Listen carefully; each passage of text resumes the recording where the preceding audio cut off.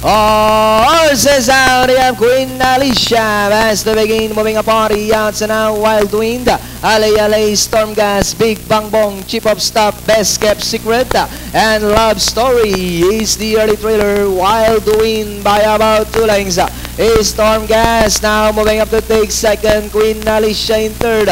Alongside Port Ale Ale, Big Bang Bong in fifth.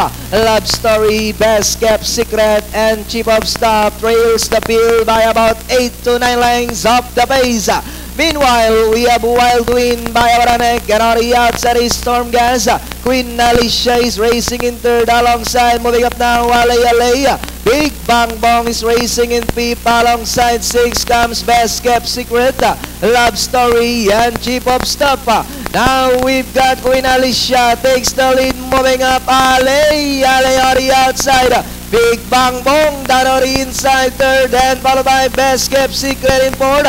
Love Story, Wild Wind, Storm Gas, and Chief of Stuff. We have Big Bang Bong now takes the lead by Olalenga. And on the outside is Queen Alicia racing in third, Ale Ale. But it's still Big Bang Bong, Queen Alicia, Best Kept Secret, slipping now on the inside. Big Bang Bong still in front, followed by Queen Alicia on the outside, Best Kept Secret, and finally it's Big Bang Bong. Queen Alicia, Best Kept Secret, Love Story, Keep Up Stop. Okay. 5-4-6-1. Big Bang Bong ang unang tumuhid ng finish line with John Alvin Guse.